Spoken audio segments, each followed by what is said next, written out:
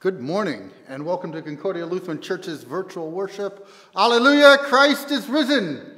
Christ is risen indeed. Alleluia. It's great to be back with you all this week. Uh, I had a great vacation and we had a great, some great family time and some time away to be refreshed and rejuvenated. This morning we are reminded by the words of the psalmist From you, O Lord, comes my praise in the great assembly. I will perform my vows in the sight of those who fear the Lord. The poor shall eat and be satisfied. Let those who seek the Lord give praise. May your hearts live forever. All the ends of the earth shall remember and turn to the Lord. All the families of nations shall bow before God. For dominion belongs to the Lord who rules over the nations. Indeed, all who sleep in the earth shall bow down and worship. All who go down to the dust, though they be dead, shall kneel before the Lord. The descendants shall serve the Lord, whom they shall proclaim to generations to come.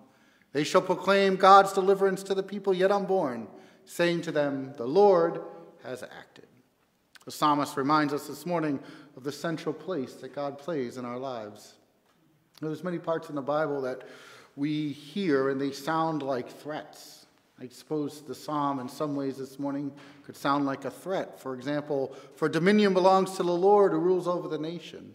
We could read that and think, well, those who, those nations and those people who don't know God are in trouble.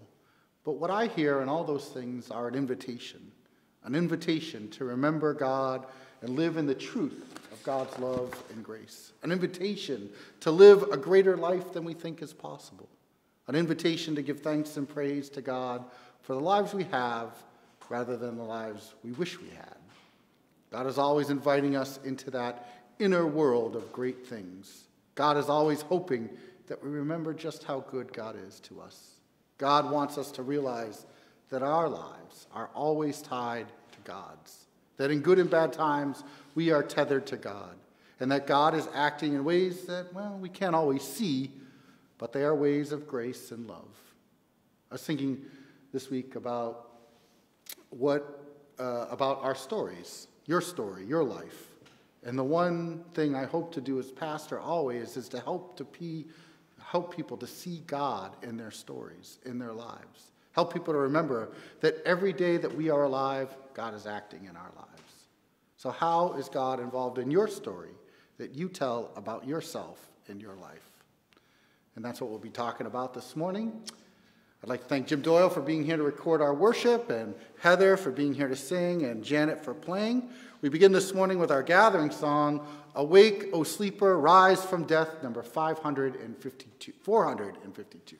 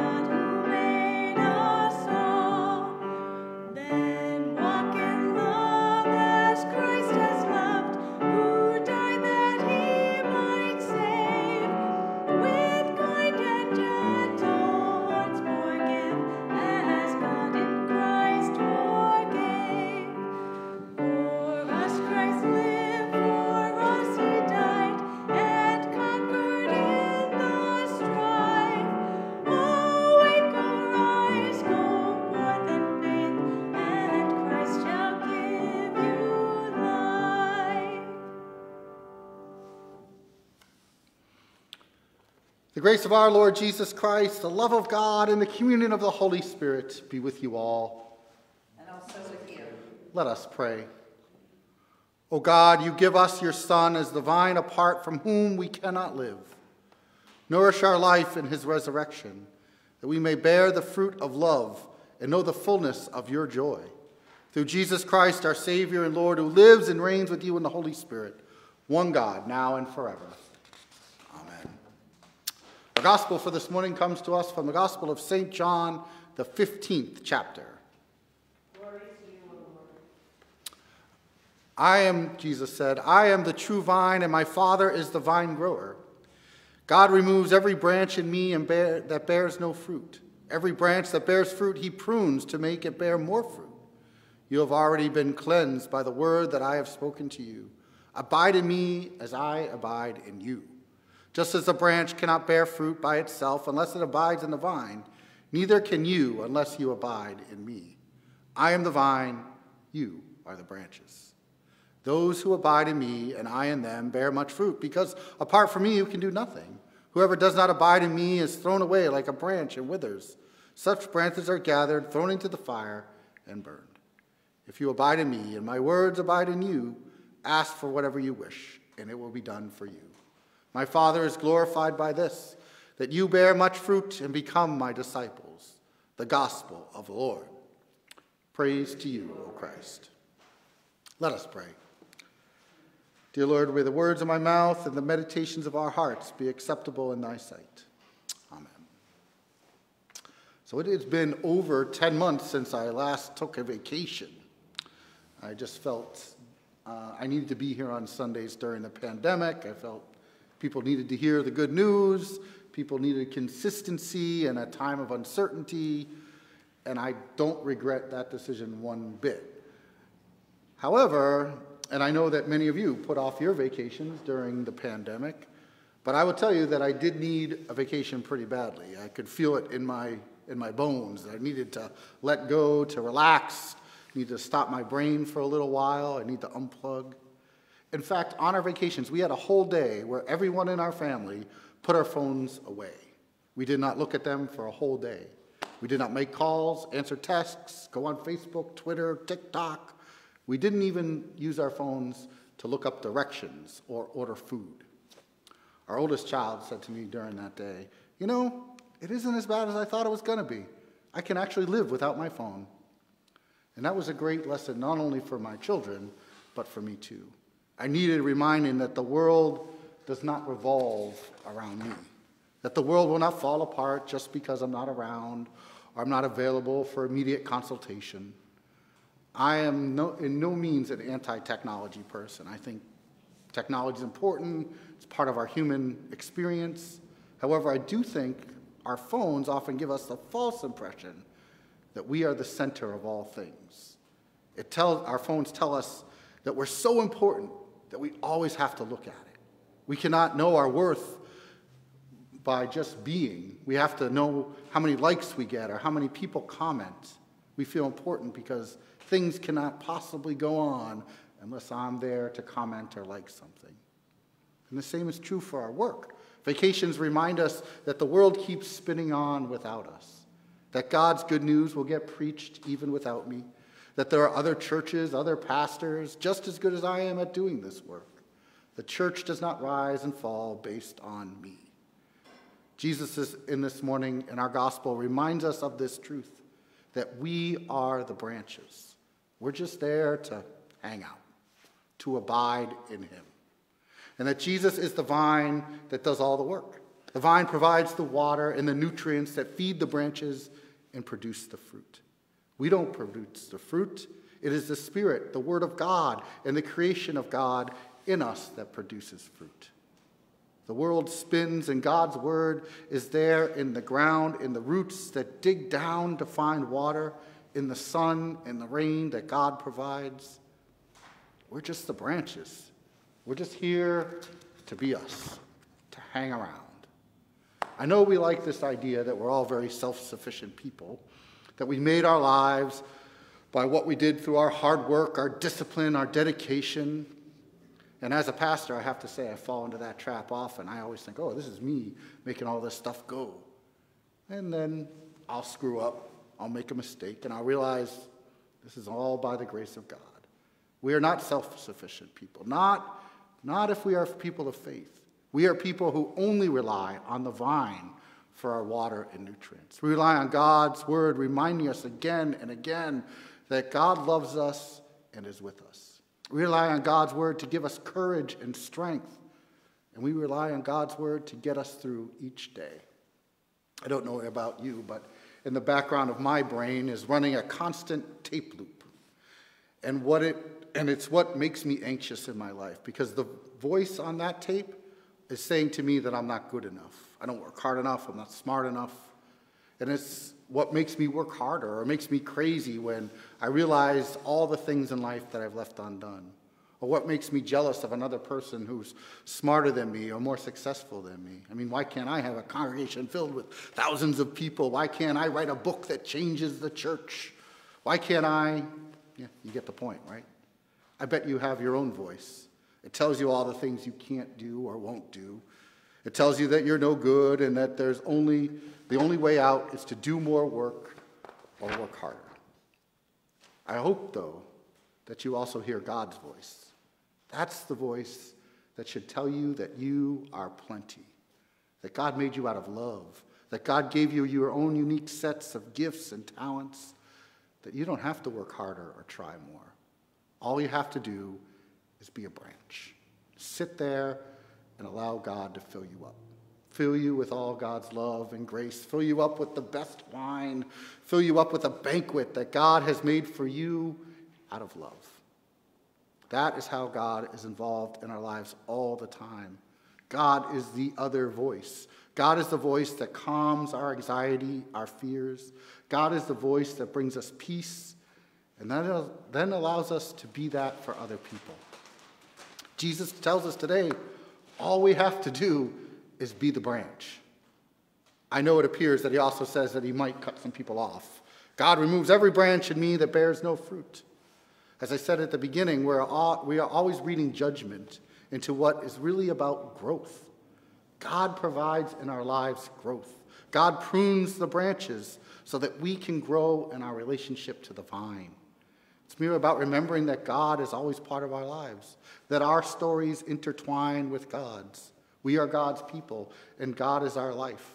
God is the voice that we want to hear every day. It's the voice that tells us that we are loved, forgiven, and set free. On that Wednesday of vacation, as we're having our day without our phones, after that conversation with my oldest child, I was thinking about how much I needed God. I need to hear God every day tell me everything's going to be okay. Because I will tell you that a lot of days it doesn't feel that way to me. Every day I feel like something's a little bit out of control. I feel a little bit inadequate to solve the problems of the world. I feel that I haven't done enough that day, that I could have done more. I could have spoken words that were more healing. I could have helped someone else in some way. I could have been a better pastor, husband, father, son, brother, uncle, friend. This is the voice in my head telling me it wasn't enough. But you see, without the phone, without the work on that Wednesday, all I had was a day with my wife and kids. All I had was the day that was before me. And I'm going to tell you this it was enough. Because in that day, there was God's love and grace. It was the day that God had made for me. In that day on vacation, away without a phone, I heard God's voice whisper in my ear that I was loved and I was enough. And this morning, I want to tell all of you you are enough and you are loved. I hope you hear that voice. I hope you I hope that you can stay on the vine and that you simply learn to be a branch because the world does not depend on you but on God who created you, loves you, and continues to sustain you. Amen. Let us sing together our hymn of the day. We know that Christ is raised, number 449.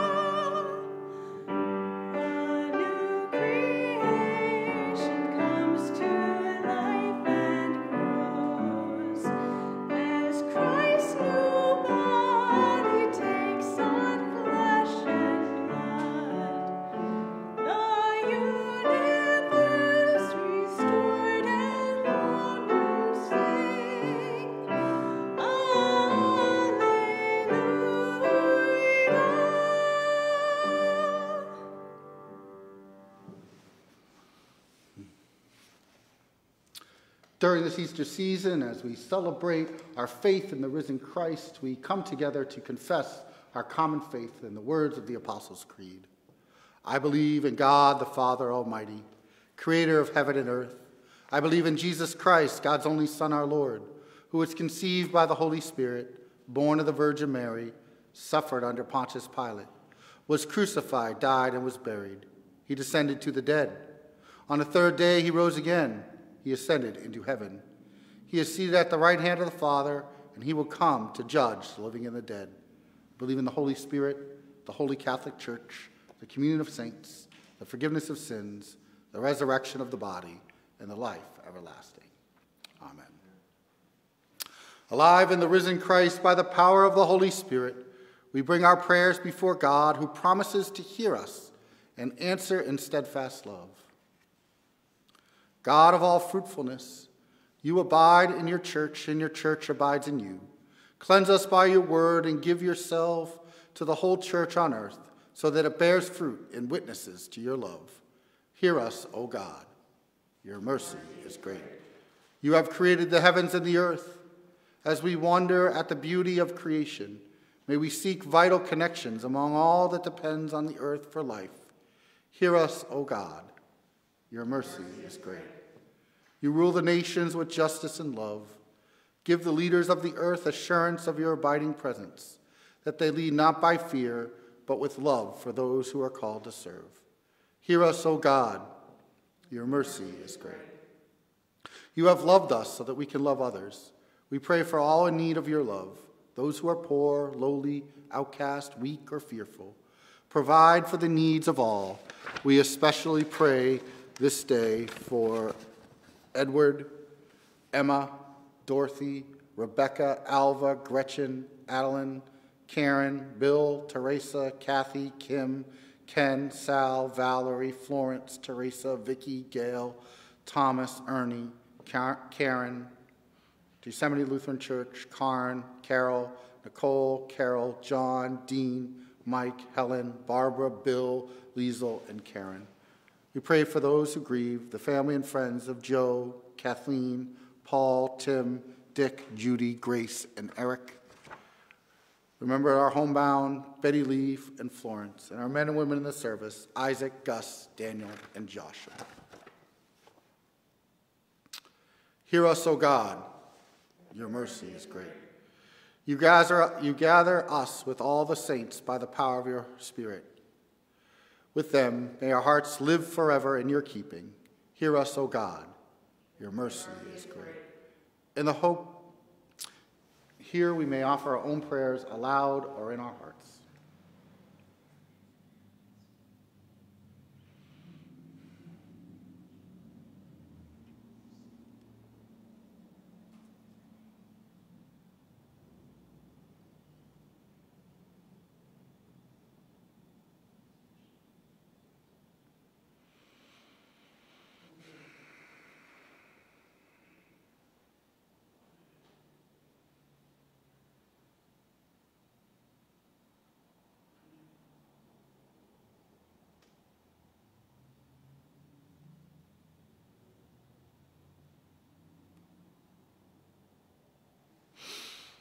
In the hope of new life in Christ, we raise our prayers to you, trusting in your never ending goodness and mercy through Jesus Christ our Lord.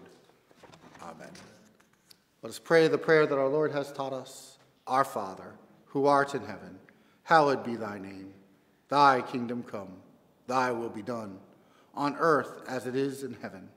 Give us this day our daily bread, and forgive us our trespasses, as we forgive those who trespass against us then lead us not into temptation, but deliver us from evil. For thine is the kingdom, and the power, and the glory, forever and ever. Amen.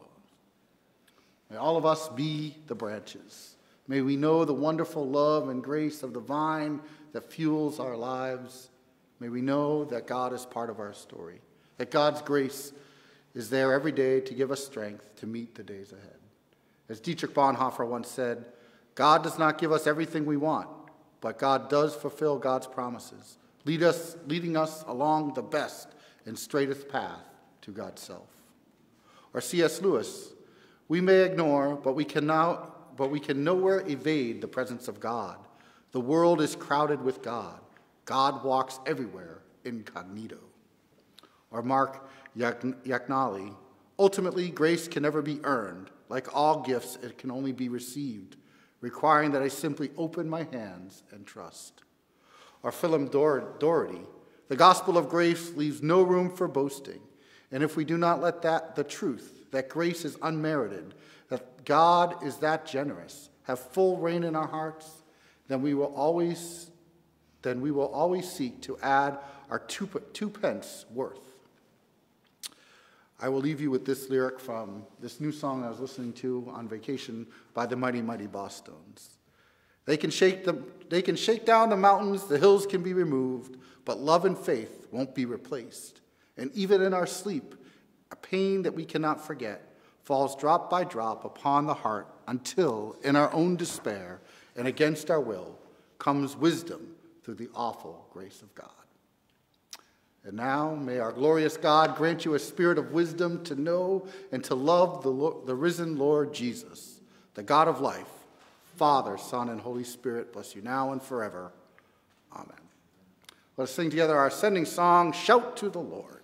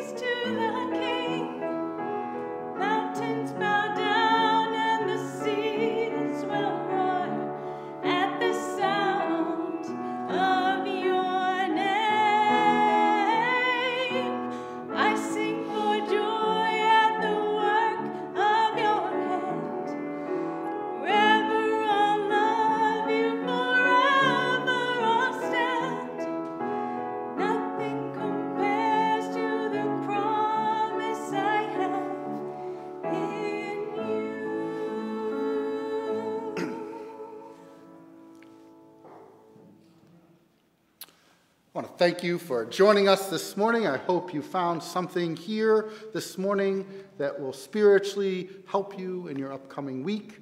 Uh, if you'd like to support our ministry, you can do that by clicking on our PayPal account link in the comments section. Once again, I'd like to thank Jim for being here to record, Heather for singing, and Janet for playing. And now go in peace, share the good news. Thanks be to God.